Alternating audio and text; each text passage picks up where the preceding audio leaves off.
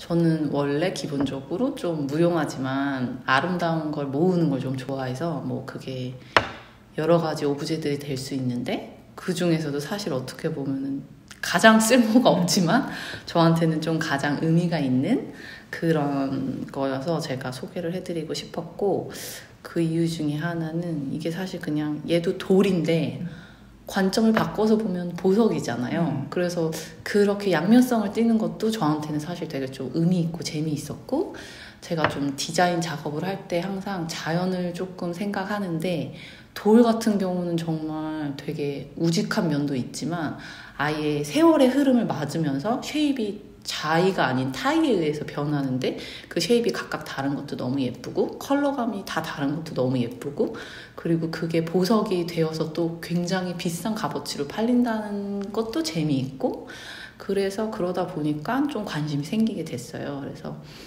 이런 것들을 좀 어, 보일 때마다 조금씩 모아야겠다 이렇게 생각을 하고 있었는데 제일 첫 번째는 포틀랜드에 갔을 때 포틀랜드가 맞을 거야. 포틀랜드 아니면 샌프란시스코 같은데 너무 오래돼서 기억이 나지 않는다면. 근데 이제 식물들이랑 이렇게 이렇게 gem이라고 하는 이렇게 크리스탈들을 같이 파는 store가 있었어요. 그래서 거기 진짜 딱 들어갔을 때 너무 행복한 거예요. 너무 진짜 저희가 식물도 좋아하고 꽃도 좋아하는데 그 친구들과 이 친구들이 같이 디스플레이 되어 있는 모습을 보니까 너무 예뻐가지고 그래서 사실 거기서 거의 대부분 사왔고 그 다음에는 뭐 도쿄 출장을 간다던가 어디 빈티지 store에 간다던가 하면 심심치 않게 이제 이런 것들을 판매하는 것들을 볼 수 있었거든요.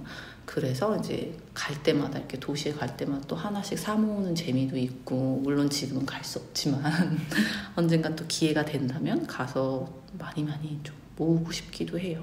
그래서 제가 좀 많이 예뻐하는 것만 좀 추려서 갖고 나오기는 했는데, 그러니까 아까 말씀드렸듯이 얘 같은 경우는 같은 건데 모양도 되게 다 다르고 자세히 보면 이렇게 안에 결정체라고 해야 되나 그런 것들이 보여요. 그래서 약간 멍 때린다고 하죠. 그 되게 의미 없는 시간일 수도 있는데 그냥 이렇게 되게. 어 진짜로 refresh 하면서 어, 여기는 이런 단면이 있었고 여기는 이런 게 있었구나 막 이런 생각도 하고 사실 어떻게 보면 화석 같기도 할 때도 있고 그래서 약간 그런 다양한 면을 볼 수 있는 게 좋은 것 같아요. 그래서 항상 제가 제일 소중하게 생각하는 곳에 하나씩 하나씩 갖다 놓기는 하거든요. 그래서 뭐 서재 쪽에 뭐 하나 놓고 뭐 침실 쪽에 하나 놓고 뭐 화장대 위에도 하나 놓고 이제 이런 식으로 그냥 제가 제일 눈길이 좀 자주 가는 곳에 그냥 의미 없을 수 있는데 그냥 거기다 놓고 보면 좀 여러 가지 생각도 나고 사실 컬러감도 너무 예쁘고 사실 반짝반짝 거리는 게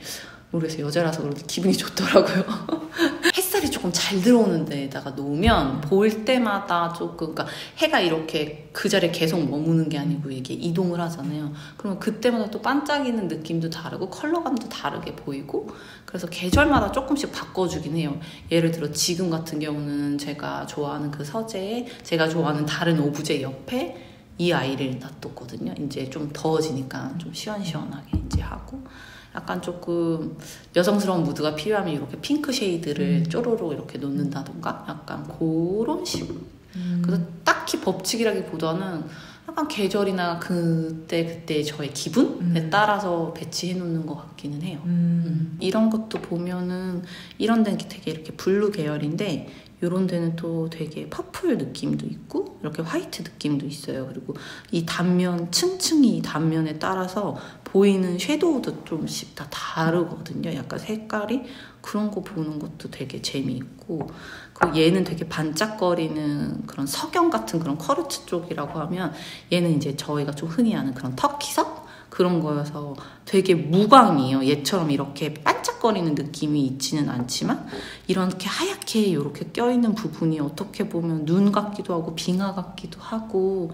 그런 컬러감도 너무 예쁘고 재밌고 그리고 이 쉐입을 인위적으로 만든다고 생각하면 이렇게 절대 못 만들 것 같거든요. 여기는 이만큼 파이고 여기는 뭐 이 각도가 이렇고 그래서 약간 그런 거 보는 재미도 있어요. 이렇게 면마다 또 다 다른 그 재미?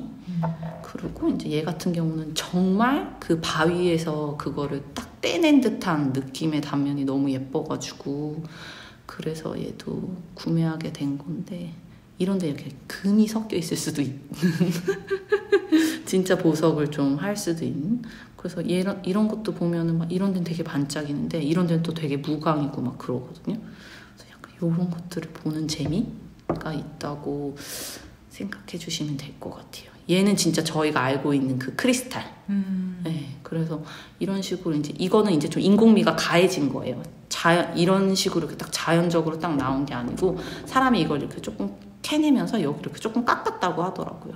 그래서 그것도 같이 있는 것도 또 예쁘고 이런 데는 사람 손이 닿지는 않았지만 얘처럼 되게 이런 쉐입으로 또 길쭉길쭉하게 나오는 것도 좀 재밌고 이게 되게 비싸 보이잖아요. 가격이 굉장히 저렴한데 막 그러니까 이게 덩어리가 좀 큰 거는 뭐 20불, 30불 이러기는 하는데 이렇게 작은 것들은 막 5불, 7불 이래서 사실 예, 막 이게 비싼 취미는 아니네. 예. 축에는 예, 들어가지는 않는다. 그러니까 이게 가공되지 않고 그러니까 이거에 사람 손길이 더해지고 뭔가 주얼리가 되고 이러면 진짜 값어치가 커지겠지만 그 사실 이, 이런 게 막 진짜 보석으로서의 가치로 따지면 아마 진짜 돌처럼 떨어지는 걸 거예요.